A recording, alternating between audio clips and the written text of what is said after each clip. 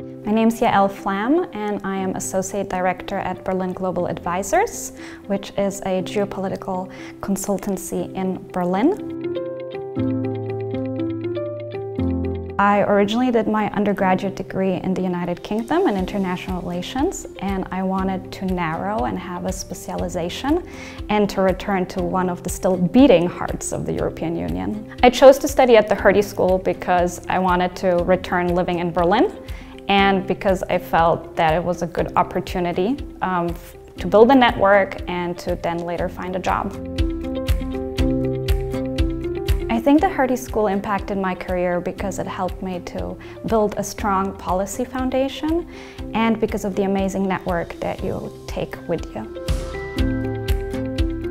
One of the large reports that um, my team and myself worked on has been shared with the management board of a corporation that I'm currently working for.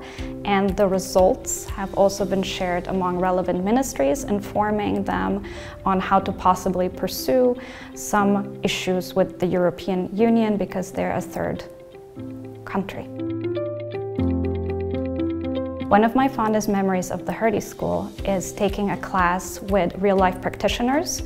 So we worked together with the Erste Foundation, who wanted to know why NGOs were not applying for grants in Eastern Europe, and we actually did focus groups and interviews, and were able to write up a report for the foundation what obstacles they would have to help NGOs to omit. Some of my favorite classes um, included working with Johanna Mair on innovation and obviously um, Henrik Enderlein, sort of, I thought of him as the Mick Jagger of economics. He used to always pace up and down. It was amazing to keep everybody's attention, but at the same time, he was just so passionate about his work. I think overall it was an exciting opportunity and I hope that there will be more of that for future classes.